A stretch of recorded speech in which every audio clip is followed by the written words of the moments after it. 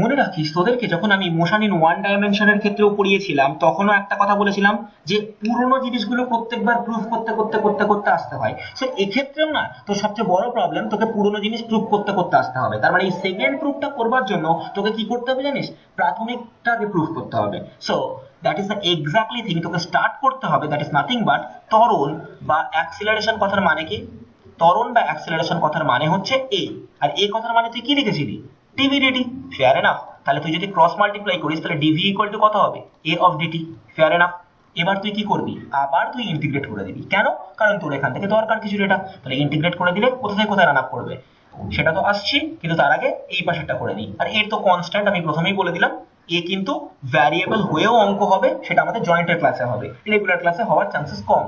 So যখন সময় শূন্য, তখন বেগ ছিল u, that is when the time was zero, the initial velocity was u, and when the time is t, final velocity has been given as v. অর্থাৎ, এই হচ্ছে ইস্যু এবার আমি আবারও বলছি, এই ডেরিভেটিভের ডি আর ইন্টিগ্রেশনের সাইন যদি পাশাপাশি থাকে without any type of variable data তাহলে কি হয়? জাস্ট উঠে যায়। আপার লিমিট থাকবে ভি লোয়ার লিমিট থাকবে ইউ এ থাকবে। একই রকম গল্প এখানে। লোয়ার লিমিট থাকবে জিরো আপার লিমিট থাকবে টি তাহলে এটা করলে কত হয়ে যাবে বল? এটা করলে হয়ে যাবে ভি মাইনাস ইউ এপাশে পড়ে থাকবে এ টি মাইনাস জিরো তাহলে তুই এখান থেকে কি পেলি? V equal to U plus A T right এবার তুই আমাকে খুব ঠান্ডা মাথায় বল কোনগুলো কনস্ট্যান্ট ভেবে বলতো ইউটা তো কনস্ট্যান্ট হ্যাঁ কি না? একবার যাত্রা শুরু করার পরে ইউটা নিশ্চয়ই বদলায় না? রাইট এটা কি? এ তো অ্যাক্সিলারেশন এটা তো তুই কনস্ট্যান্ট হয়ে গিয়েছিস ওকে কিন্তু তুই কি বলতে পারবি? টাইমটা কনস্ট্যান্ট একদম না। কারণ কতক্ষণ ধরে তুই কাজ করছিস সেটা কি করে বলব। টাইম ভ্যারিয়েবল এবার টাইম যদি ভ্যারিয়েবল হয়ে যায় তাহলে ভাব ভিটাও তো ভ্যারিয়েবল হ্যাঁ কি না? কে কে বুঝিসনি? আগে ঠান্ডা মাথায় উত্তর দে। অর্থাৎ ভাব অন্তিম বেগও ভ্যারিয়েবল সময়ও ভ্যারিয়েবল কিন্তু কোন দুটো কনস্ট্যান্ট অবভিয়াসলি কোনো একটা অবজেক্টের প্রাথমিক বেগ that is nothing but the initial velocity has been given as constant বা ধ্রুবক। আর কোনটা ধ্রুবক? অ্যাক্সিলারেশন বা ত্বরণ। মেক সেন্স ওকে এবার দেখ, আমরা মোটের ওপর প্রুফ করলাম এইটুকু যেটা, যেখানে আমরা বললাম যে ফাইনাল ভেলোসিটি বা অন্তিম বেগ ভিটা এইভাবে ডিফাইন্ড হচ্ছে। কিন্তু ভিটা কি? আমি আবারও বলে দিচ্ছি ভিটা না ভ্যারিয়েবল রাইট আচ্ছা এবার ভি যদি ভ্যারিয়েবল বা পরিবর্তনশীল হয়, তোর কোনো আইডিয়া আছে? এটা কার ওপর অ্যাকচুয়ালি পরিবর্তনশীল? ভি অ্যাকচুয়ালি কীরকম হবে? তুই ভালো করে ভাব। যদি আমি ধরে নেই তর্কের খাতিরে যে এ ইকুয়াল টু ত্বরণ that is nothing but acceleration এটা অ্যাকচুয়ালি কনস্ট্যান্ট বা ধ্রুবক যদি হয়ে থাকে, তাহলে মেন ইস্যু কি? তুই যত টি বাড়াবি, তত ভিও বাড়বে। কারণ সময়ের সাথে সাথে ভেলোসিটি আস্তে আস্তে বাড়বে, কারণ ত্বরণটা ধ্রুবক রাইট ঠিক একই রকম ভাবে তুই ভালো করে বোঝ, যত তুই টাইম বাড়াবি, তোর কিন্তু ক্রসড পাথ দ্যাট ইজ ডিসপ্লেসমেন্টও বাড়বে। অর্থাৎ সময়ের সাথে সরণও বৃদ্ধি পাবে হ্যাঁ কি না? অর্থাৎ উইথ স্প্যান অফ টাইম তুই যত সময় বাড়াবি, তত কি হবে? অবজেক্টটা সরণও ধীরে ধীরে ধীরে ধীরে বৃদ্ধি পাবে। ক্লিয়ার আমার কথা? কোথাও কোনো কিছু বুঝতে অসুবিধা? নিশ্চয়ই নেই। তার মানে তুই বোঝ, আমি যদি বলি যে কোনো একটা অবজেক্ট এখান থেকে এই অবধি গেছে, তো এই পুরো পথটা ধরে তুই কেন ভাববি? তুই কি ভাববি? একদম একটা ছোট্ট একটু পথ ভাব। ধরে নে, এই পার্টিকুলার পয়েন্টে বেগ ভি খুব ভালো করে ভাব। এই পার্টিকুলার পয়েন্টে কিন্তু আমি বলেছি ভেলোসিটি ভি কেন? কারণ যখন জার্নি স্টার্ট করেছি সেটা ইউ এটা কিন্তু অবভিয়াসলি কনস্ট্যান্ট সো এটা নিয়ে তুই কথা বলতে পারিস না।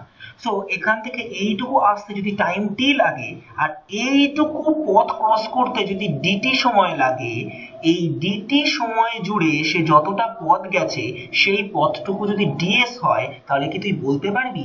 এইটুকু ছোট্ট প্লেসে যেটুকুকে আমি রেড দিয়ে মার্ক করে দিলাম, এইটুকু ছোট্ট প্লেসের বেগ that is nothing but velocity, that will be nothing but rate of change in displacement, অর্থাৎ সরণ পরিবর্তনের হার।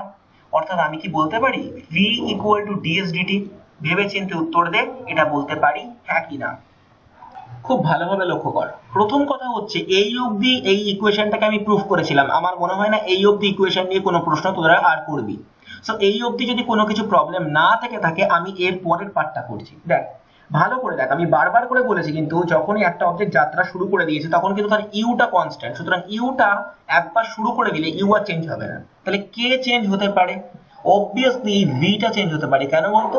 এই ভিটা কিন্তু কোন পয়েন্টের উপর বের করছি সেই পয়েন্টের উপর কাজ করছে। সুতরাং ফাইনাল বেগ দ্যাট ইজ ভি এটা কিন্তু তুই বলতে পারিস না যে এটা একটা কনস্ট্যান্ট এটা ডিপেন্ড করছে তুই কতক্ষণ ধরে গেছিস এবং কতটা টাইম ধরে গেছিস। রাইট তার মানে যদি তুই সময়টা বাড়াস, তাহলে তোর যেমন এই ফাইনাল বেগটা বাড়বে, ঠিক একইভাবে তুই যদি সময় বাড়াস, তাহলে কিন্তু তোর অতিক্রান্ত পথ দ্যাট ইজ ডিসপ্লেসমেন্টও বাড়বে। অর্থাৎ with span of time incrementing the amount of path traveled by that certain object will be also increased and that is the exactly logic আমি কি লিখতে পারছি না অবজেক্টটা জার্নি শুরু করেছে এখান থেকে নো প্রবলেম তো যাচ্ছে যাচ্ছে যাচ্ছে যাচ্ছে, এই অবধি এলো।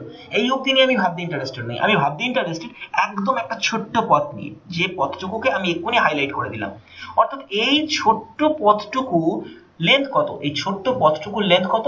আমি ধরে নিচ্ছি ডিএস কেন ডিএস ধরছি? আই টোল্ড ইউ আর্লিয়ার বারবার বলছি এরর ক্যালকুলেশনে আমি বুঝিয়েছি ডি কথার মানে কি? ডি কথার মানে হচ্ছে খুব ক্ষুদ্র। দ্যাট মিনস তুই কতটা ছোট ভাবতে পারিস? That is zero point zero zero one না, তার থেকেও ছোট that is zero point zero zero one so এরকম একটা খুব ছোট পথকে যদি ভাবি দ্যাট ছোট পথকে আমরা লিখতে পারি ডি অফ সাম আর এইটুকু ছোট পথ যেহেতু, তাহলে এই ছোট পথটা ক্রস করতে নিশ্চয়ই একটা টাইম লেগেছে। কতটা টাইম লেগেছে? তাহলে সেই টাইমটাও কিন্তু অত্যন্ত ছোট হবে। আর that time has been given as dt right তার মানে বোঝ, এইটুকু হচ্ছে ডিএস যেটা নাকি সরণ, আর ডিটিটা কি? টাইম তাহলে সরণ বাই টাইম এইটুকু জিনিসকে কি বলি? That is displacement by time that is the rate of change in displacement অর্থাৎ আমি যেটা বের করার চেষ্টা করছি সেটা হচ্ছে সরণের হার। অ্যান্ড খুব ভালো করে মনে করে দেখ, আমরা জানি সরণের হার that is the rate of change in displacement is known as the velocity so velocity কথার মানে কি? ভেলোসিটি কথার মানে ডিএসডিটি সো এক্স্যাক্টলি আমি এখান থেকে এই জায়গাটাকে দাঁড় করালাম। ক্লিয়ার না ক্লিয়ার না? সমস্যা? এনিওয়ান এনি ইস্যু না স্যার ওকে এবার তুই আমাকে প্রশ্ন করতেই পারিস কেন আমি ইউটাকে লিখলাম না কেন আমি ভিটাকে লিখলাম? ভাই এর উত্তর আমি প্রথমেই তোকে দিয়ে দিলাম। কেন ইউটা কনস্ট্যান্ট সো যদি একটা অবজেক্ট যাত্রা শুরু করে তুই কখনো বলতে পারবি না after starting its journey it can change its initial velocity ভালো করে ভাব তুই সাইকেল নিয়ে ঘর থেকে বেরোলি যে মুহূর্তে বেরোলি সেই মুহূর্তের বেগটা কিন্তু সেই মুহূর্ত থেকে কনস্ট্যান্ট হয়ে গেল। You can't change it but আমি যদি বলি তুই যাচ্ছিস যখন সোনারপুর বিদ্যাপীঠ ক্রস করছিস, তখন ভেলোসিটি কত? সেটা নিশ্চয়ই টাইমের উপর ডিপেন্ড করবে। যখন তুই সারদা বিদ্যাপীঠ ক্রস করছিস, তখন তোর ভেলোসিটি কত? সেটাও সময়ের উপর ডিপেন্ড করবে। বিকজ তোর বাড়ি থেকে সোনারপুর আসতে কতদূর লাগে, সেই টাইমটা একটা কনস্ট্যান্ট আবার তোর বাড়ি থেকে সারদা যেতে কতক্ষণ লাগে, সেটাও একটা কনস্ট্যান্ট এবং তুই কত স্পিডে চালাচ্ছিস, কোন বেগ থেকে জার্নি স্টার্ট করেছিস, তুই কিসে আসছিস, এই প্রত্যেকটা জিনিসের উপর ডিপেন্ড করে কিন্তু ভিটা চেঞ্জ হয়ে যাবে। কিন্তু ইউটা তুই একবার জার্নি স্টার্ট করার সময়ই যা হবে সেটাই থাকবে। তারপরে তুই আর সেটাকে চেঞ্জ করতে পারবি না। আমার কথা ক্লিয়ার হ্যাঁ কি না? হ্যাঁ। বোঝা গেছে ওকে তাহলে আমি কি লিখতে পারি? এই টোটাল ইকুয়েশনটা ফার্স্ট ইকুয়েশন থেকে যতদূর প্রুভ করেছিলাম সেখান থেকে লিখলাম v equal to u plus at no issue so right now আমি কি করছি? এই v টার জায়গায় চেঞ্জ করে লিখছি ds of dt that is nothing but u plus at fair enough এবার কি করব? আবার যেই কে সেই ক্রস মাল্টিপ্লাই করে দেবো। So go for it so ds equal to কত হবে? U plus at of dt right এই অবধি আমরা প্রত্যেকটা জিনিস বুঝব। যদি কোনো ইস্যু থাকে, বলবে, নয়তো আমি এগোবো। ওয়েল আমি পুরোটা ফিনিশ করেছিলাম এক্স্যাক্টলি এই পজিশনে গিয়ে, যেখানে আমি ডিএস অর্থাৎ আমি কি বের করার চেষ্টা করেছিলাম? একটা ছোট্ট পথের ডিসপ্লেসমেন্ট অর্থাৎ খুব ছোট পথের জন্য এইটা। এবার খুব ভালোভাবে লক্ষ্য করো, আমি তোমাকে কি বলেছি। এ থেকে কোনো একটা অবজেক্ট বি অবধি জার্নি স্টার্ট করেছে রাইট এবার তুমি ভালোভাবে দেখো। ধরো, আমি তোমাকে বলেছিলাম একটা ছোট্ট পথ তুমি ভেবেছো। এই ছোট্ট পথটুকু কতটুকু ভেবেছো? যে ছোট্ট পথের লেন্থ হচ্ছে ডিএস ক্লিয়ার এবার ইস্যুটা এখানে না ইস্যুটা অন্য জায়গায়। এই রকম ছোট ছোট যদি তুমি ডিএস ডিএস করে পর পর খুঁজতে থাকো, তাহলে তুমি ফাইনালি মোট কতটা করতে পারবে? পুরো পত্রই তো পাবে, তাই না? কারণ আমি তোমাকে কি বলেছিলাম? ইন্টিগ্রেশন কথার মানে কি? ইন্টিগ্রেশন হচ্ছে এরকম একটা ফর্মুলা যেটা সামেশন করে গোটা পথটুকু বের করে। So exactly that is the logic আমি যদি ছোট ছোট ছোট ছোট করে ডিএস গুলোকে খুঁজতে বের করি, তাহলে ফাইনালি কতটা পাবো? এ থেকে বি অবধি পুরো পথটুকু পাবো। ইয়েস অর নো তাহলে সেই পুরো পথটা কত? এস হ্যাঁ কি না? মোট কতটা পথ গেছে? এস রাইট এবার তুমি আমাকে বোঝো, কতক্ষণে এস গেছে গো? টোটাল এস পথ অতিক্রম করেছে কতক্ষণে? টি সময় হ্যাঁ কি না। কারোর কোনো সমস্যা?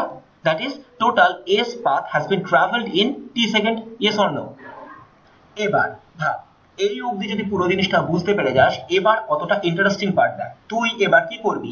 বাধ্য ইন্টিগ্রেট করবি। So go for it integrate করে দে হ্যাঁ? সো ইন্টিগ্রেট করলে এদিকেও ইন্টিগ্রেশন হবে, ওদিকেও ইন্টিগ্রেশন হবে, হয়েছে? এবার তুই ঠান্ডা মাথায় বোঝ? ইন্টিগ্রেশন যখন করছিস কোথা থেকে কোথায়? যখন তুই জার্নি স্টার্ট করেছিলি, বলেছিলাম সময়টা শূন্য, তাহলে টাইমটা জিরো কেন টাইমটা দিয়েছি? তার কারণ ভাব, এখানে ইন্টিগ্রেটর ফ্যাক্টর কে? ডিটি তাহলে ডিটিটা কি? টাইমের রেসপেক্টিভে করেছিস। এবার যখন সময় শূন্য মানে তুই তোর ইনিশিয়াল পজিশনে দাঁড়িয়েছিস, অর্থাৎ যেখান থেকে যাত্রা শুরু করবি ভাবছিস, তখনও নিশ্চিত তুই কোনো পথ অতিক্রম করিসনি, তার মানে তখন অতিক্রান্ত পথ তো শূন্য। এবার তুই যখন যাত্রা শুরু করলি, কতটা গেলি টি সময় you have travelled s path তাহলে ফাইনাল সময় হচ্ছে টি আর তুমি ততক্ষণে কতটা পথ গেছো? এস আগে বলো এইটুকু বুঝলে না বুঝলে না। Okay to be very honest ধর তোর বাড়ি থেকে আমার বাড়ি আসতে পাঁচ মিনিট টাইম লাগে। খুব ভালো করে বোঝ, তোর বাড়ি থেকে আমার বাড়ি আসতে পাঁচ মিনিট টাইম লাগে। সো তুই বাড়ি থেকে বেরোলি পুরো যখন তোর ঘড়িতে বাজে এগারোটা হ্যাঁ? তাহলে তুই কখন আমার বাড়িতে এসে পৌঁছবি? এগারোটা, পাঁচে? হ্যাঁ কি না? তার মানে তুই বোঝ, আমি যদি তোকে বলি জাস্ট তুই জার্নি স্টার্ট করেছিস কখন জার্নি স্টার্ট করেছিস? এগারোটায়? তাহলে তুই যদি এগারোটায় ঘর থেকে বেরোবো বেরোবো করিস, অর্থাৎ সেই সময় জাস্ট যদি ঘর থেকে বেরোস, তখন তুই মোট কত পথ গেছিস? একটুও পথ যাসনি কিন্তু। মোট কতক্ষণ গেছিস? একটুও সময় যাসনি কিন্তু। আমার কথা বুঝতে পারলি না পারলি না? অর্থাৎ তুই এগারোটায় তোর ঘর থেকে বেরোবি। সেই মোমেন্টে তোর যাত্রা শুরু হয়নি। তার মানে you have not started your journey yet so that's why the total time you have travelled zero total path you have travelled that is zero হ্যাঁ কি না অর্থাৎ তুমি যখন যাত্রা শুরু করছ তখন তোমার মোট ক্রস পাথ জিরো এবং মোট টাইম ট্রাভেল সেটাও জিরো ইয়েস অর নো কিন্তু যখন এগারোটা থেকে এগারোটা পাঁচ বাজলো ততক্ষণে তুমি আমার বাড়ি এসে পৌঁছে গেলে। তার মানে তুমি এবার মোট কতটা টাইম গেলে? টাইম গেলে এই যে এগারোটা পাঁচ থেকে এগারোটা অবধি বিয়োগ করলে যত হয়? ধরে নাও সেটা পাঁচ মিনিট। মেক সেন্স তাহলে এই পাঁচ মিনিট পর তুমি ট্রাভেল করেছ। তাহলে এই পাঁচ মিনিট পথ তুমি ট্রাভেল করেছ এবং এই পাঁচ মিনিটের পথে তুমি মোট কতটা পথ গেছো? সেটাই তো এস হ্যাঁ কি না? So right now we are proceeding to the integration part এইবার দেখো, প্রত্যেকটা জিনিস সতর্ক হবে। তাহলে এবার কি হবে? এখানে ইন্টিগ্রেশন করছ ডিএস কে জিরো থেকে এস অবধি। আর এক্ষেত্রে আমি কি করছি? দুটোকে আলাদা আলাদা ফ্যাক্টরে ভেঙে নিচ্ছি। তাহলে এখানে কত হবে? U of dt make sense plus at of dt কোনো সমস্যা? লোয়ার লিমিট দুটোতেই জিরো আপার লিমিট দুটোতেই টি হ্যাঁ কি না? এবার ভাব, আমি কিন্তু তোকে পড়ানো স্টার্টিং এ বারবার করে বলে এসেছি, কি বলতো? যে এই ইউ যেটা কিনা ইনিশিয়াল ভেলোসিটি অর্থাৎ যে বেগ নিয়ে কোনো একটা অবজেক্ট যাত্রা শুরু করে, সেটা কিন্তু কনস্ট্যান্ট আবার যে ত্বরণে অবজেক্টটা যাত্রা শুরু করে that is the acceleration of the object is also constant তাহলে ইউ আর এ দুটোই কিন্তু কনস্ট্যান্ট তাহলে কনস্ট্যান্ট মানে কি? একটা নিউমারিক্যাল ভ্যালু তার মানে ওই দুটোকে কি করতে পারি? কনস্ট্যান্ট পার্টকে বাইরে বের করে দিতে পারি। হ্যাঁ কি না? তো সেটা তো গেলে একটা পার্ট আরেকটা জিনিস দেখ, এখানে কি আছে? এটা কি সাইন ইন্টিগ্রেশন সাইন আর এই ইন্টিগ্রেশন সাইনটা ঠিক পাশে কি আছে রে? ডেরিভেটিভ সাইন তাহলে ইন্টিগ্রেশন সাইন আর ডেরিভেটিভ সাইন পাশাপাশি থাকলে কি হয়? জাস্ট রিপ্লেসড হয়ে যায়। তার মানে কত হয়ে যাবে? শুধু আর শুধুমাত্র এস পড়ে থাকবে। লোয়ার লিমিট থাকবে জিরো আপার লিমিট থাকবে এস কোনো সমস্যা? একই রকম ভাবে আমি কি করতে পারি? এখান থেকে যেহেতু ইউটা কনস্ট্যান্ট তাহলে ইউটাকে আমি জাস্ট টেনে বাইরে বের করে দিলাম। তাহলে ইন্টিগ্রেশন সাইনের ভেতরে কে পড়ে থাকল? Dt lower limit zero upper limit t আর এখান থেকে এটা কনস্ট্যান্ট এটাকে বাইরে বের করে দাও। তাহলে ইন্টিগ্রেশন পার্টের মধ্যে কে পড়ে থাকল? টি অফ ডিটি কেন টিটা কনস্ট্যান্ট নয়? কারণ আমি তোমাকে আবার বারবার করে বলেছি এখানে ডিটিটাই ইন্টিগ্রেটেড পার্ট অর্থাৎ যে ভ্যারিয়েবলের সাপেক্ষে সেই পার্টিকুলার পার্টটা কোনোদিন কনস্ট্যান্ট হতে পারে না। তাহলে এই গেল তোমার আলটিমেটাম ইকুয়েশন ক্লিয়ার না ক্লিয়ার না? তাহলে তুমি বলো কি করবে? অ্যাজ সিম্পল অ্যাজ দ্যাট দেখ অলরেডি এই পার্টটা তোর কাছে সলিউশন হয়ে গেছে কেন? তুই ইন্টিগ্রেট করে দিয়েছিস, তাহলে upper limit minus lower limit বসাবি। তার মানে কি বসাবি? এস মাইনাস জিরো বসাবি। সমস্যা? থাকার কথা না। এই পার্টটাই কি করবি দেখ। এখানেও ইন্টিগ্রেশন ডেরিভেটিভ পার্টটা পাশাপাশি আছে। তাহলে জাস্ট উঠে গেল। তাহলে ইউটা বাইরে থাকল মডিউলাস ভ্যালুর ভিতরে টি থাকবে জিরো থেকে টি অব্দি রান আপ করবে। প্লাস এক্ষেত্রে থাকবে এ যেটা আছে, আর এই টি এর ভ্যালু কত আছে বলতো ভেবে? ওয়ান তার মানে যদি এটাকে টি কে ডিটি রেসপেক্টিভ ইন্টিগ্রেট করিস, তাহলে কি হবে? ভ্যারিয়েবল তাহলে ভ্যারিয়েবলের সাপেক্ষে যদি তাকে ইন্টিগ্রেট করিস, তাহলে পাওয়ারটাই কি হয় রে? পাওয়ারটায় যা ছিল, তার সাথে এক বেড়ে যায় নিচে এক্সাক্ট পাওয়ারটা বসবে বোঝা গেছে আমার কথা না কোনো প্রবলেম আছে? আমি কি বলছি আরও আর ভালো করে বলছি। তুই ভালো করে বোঝ, এক্ষেত্রে ইন্টিগ্রেশন করছি দুদিকে দুটো আলাদা আলাদা রেসপেক্টিভ ডেটার সাপেক্ষে। এই দিকে ইন্টিগ্রেট করছিলাম বেসিক্যালি শুধু এস এর। যার জন্য ভ্যারিয়েবল কে ছিল ডিএস তো সমস্যা ছিল না। কিন্তু এই দিকে যখন ইন্টিগ্রেট করছিলাম, তখন প্রবলেম কি? এই দিকে কিন্তু ইন্টিগ্রেট করছিলাম ডিটি রেসপেক্টিভে তাহলে ডিটিটার সাপেক্ষে আমি বোথ সাইডে ইন্টিগ্রেট করছি রাইট এবার যদি ডিটি রেসপেক্টিভে ইন্টিগ্রেট করি, তাহলে ফার্স্ট পার্টটা যদি লক্ষ্য করিস, তাহলে ফার্স্ট পার্টটায় দেখ, এক্ষেত্রে ইউটা তো কনস্ট্যান্ট ইউটা বেরিয়ে গেলে ভেতরে কে পড়ে থাকছে, শুধু ডিটি তাহলে ডিটি কে যদি ইন্টিগ্রেট করিস, কি বললাম? এইখানে যে ইন্টিগ্রেশন সাইনটা আছে, এই ইন্টিগ্রেশন সাইনটার পাশেই যদি কোনো ডেরিভেটিভ সাইন থেকে থাকে, তাহলে ইন্টিগ্রেশন আর ডেরিভেটিভ দুটো পাশাপাশি দুজন দুজনকে কি করে? ক্যান্সেল আউট করে দেয়। তাহলে ক্যান্সেল আউট করে দিলে কি হবে? কোনো রকম কোনো সমস্যা থাকবে না। তার মানে কি হচ্ছে দেখ? শুধু আর শুধুমাত্র টিটা এখানে পড়ে গেল। সমস্যা নেই? কিন্তু ইন দ্য আদার হ্যান্ড তুই যদি একটু ভালোভাবে লক্ষ্য করিস, এই পাশেরটায়, অর্থাৎ এই সেকেন্ড ইকুয়েশনটায় গন্ডগোলটা অন্য জায়গায়। এটা তো constant you have taken it out so এটা কনস্ট্যান্ট নিয়ে নিলে। কিন্তু এইখানে ইন্টিগ্রেশন পার্টের ভেতরে শুধু ডিটি পড়ে নেই ডিটির সাথেও আরেকটা জিনিস পড়ে থাকছে, কে বলে তো টি সো এই টি ডেটাটা অ্যাকচুয়ালি কি? এই টি ডেটাটা কিন্তু ইটসেলফ একটা ভ্যারিয়েবল টি ডেটা যদি ভ্যারিয়েবল হয় টি এর পাওয়ার কত আছে? কিছু নেই মানে ওয়ান আছে। তাহলে টি কে ইন্টিগ্রেট করলে কত হবে? টি এর পাওয়ার ওয়ান প্লাস ওয়ান বসবে, আর এক্সাক্ট ওর যে পাওয়ারটা ছিল, সেই পাওয়ারটা নিচে পড়ে যাবে। বোঝা গেছে না যায়নি? ওকে দেখ, তাহলে আমি যত অবধি প্রুফ করেছি এক্স্যাক্টলি এই অবধি রেখে দিলাম পুরো ডেটাটা এবার আমি কি করব? জাস্ট পাতি আপার লিমিট লোয়ার লিমিটের বসানোর খেলায় মানবো জাস্ট যা যা করবার দরকার তাই করব। তাহলে এটা এস মাইনাস জিরো এক লাইন এক্সট্রা লিখলাম। তাহলে ইউ উইদিন ব্র্যাকেটে কি লিখব? প্রথমবার লিখব টি এর জায়গায় জাস্ট ভ্যালুটা বসিয়ে দেবো। টি আর পরের জায়গায় টি এর জায়গায় কত বসাবো? Zero as simple as that তারপরের বার কত হচ্ছে দেখ। প্লাস এ মড ভ্যালু এখানে কত থাকছে? টি স্কোয়ার তার মানে প্রথমবার টি এর জায়গায় কত বসাবো? T that is t square by two পরের বার কত বসাবো? Zero square by two as simple as that বোঝা গেছে? তাহলে এটা কত হয়ে গেল? এস ইকুয়াল টু এটা কত হবে? ইউটি প্লাস এখান থেকে হাফ কমন নিয়ে নে। হাফ এটি স্কোয়ার দেখ, এই ইকুয়েশনটাই কিন্তু আমরা ম্যাথমেটিক্যালিও প্রুফ করেছিলাম গ্রাফিক্যালিও প্রুফ করেছিলাম। সো রাইট নাও আমরা ক্যালকুলাস ওয়েতে এটা প্রুফ করলাম। লাস্ট পার্ট প্রুফ যেখানে আমরা দাঁড়িয়ে আছি। আমি আবারও বলছি, এই লাস্ট পার্টের প্রুফটা করতে গেলে আবারও আমাকে ওই সেম জিনিস লিখতে হবে, অর্থাৎ প্রথম থেকে জিনিসটাকে প্রুফ করতে হবে। অর্থাৎ আমি যদি বলি যে অ্যাক্সিলারেশন এই অ্যাক্সিলারেশন কথার মানে আমি কি জানি? অ্যাক্সিলারেশন কথার মানে এ এ কথার মানে কি জানি বলো? এ কথার মানে আমি কি লিখেছিলাম? ডিভিডিটি রাইট সো আগে প্রত্যেকটা ডেটা লেখা হয়ে গেছে সেই জন্য আমি আর লিখছি না, কারণ আমাকে প্রুফ করতে গেলে প্রত্যেকবার ওই একই কথাগুলো লিখে আসতে হবে। সো আমি সেগুলো আর লিখছি না। তাহলে v equal to a of dt তাহলে করে দে একটা কাজ। আমি এবার পুরো জিনিসটাকে না একটু সিঙ্কোনাইজ লিখছি। খুব ঠান্ডা মাথায় দেয় আমি এখানে কি লিখছি জানিস? Dv dt equal to a লিখলাম রাইট অর্থাৎ কোনাকুনি মাল্টিপ্লাই করেও আবার আমি আগের জায়গায় ফিরে এলাম। কেন? সেটা একটু ভালো করে বোঝ। আমি এবার কি করছি জানিস? ডিভি ডিভাইডেড বাই কিছু লিখলাম না ইন্টু ওয়ান বাই ডিটি এটা লিখতে পারি? দেখ তো। শিখিয়েছিলাম তোদেরকে আমি। কেন? না, আমি না, এবার একটা চেন রুল অ্যাপ্লাই করব। হোয়াট ডাজ ইট মিন ভেবে দেখ, যদি আমি এখানে একটা ভ্যারিয়েবল আনি এক্স্যাক্ট সেম ভ্যারিয়েবলটাকে আমাকে এখানে আনতে হবে। মনে করে দেখ, এরকম অঙ্ক আমরা করেছিলাম চেন রুলের ক্ষেত্রে। অর্থাৎ আমি কাকে এনেছি এক্ষেত্রে? ডি ডিএস বলে একটা ডেটা এনেছি। কেন? না, এই ডিএস ডেটাটা আনলে আমার একটা জায়গায় প্রফিট আছে, সেটা আমি তোকে এক্ষুনি বোঝাবো। বোঝা গেছে আমি কি করেছি? ক্লিয়ার আমার কথা? হ্যাঁ কি না?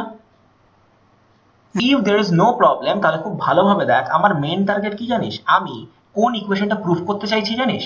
একটু ভেবে দেখ, আমার মোট তিনটে ইকুয়েশন ছিল, একটা ছিল v equal to u plus at যেটা করে ফেলেছি। S equal to u t plus half at square যেটা একটু আগে করেছি। অ্যান্ড থার্ড রুল কি ছিল বলতো? V square equal to u square plus two a s right এই পার্টিকুলার ইকুয়েশনে দেখ টাইমের কোনো এক্সিস্টেন্স নেই। And that is the exactly logic আমি টাইমটাকে কমপ্লিটলি এলিমিনেট করে দেবো। অ্যান্ড দ্যাটস ওয়াই আমি কি এনেছি বলতো? ডিএসডিটি এনেছি। কেন জানিস? এই ডিএসডিটি কথার মানে কি বুঝবি?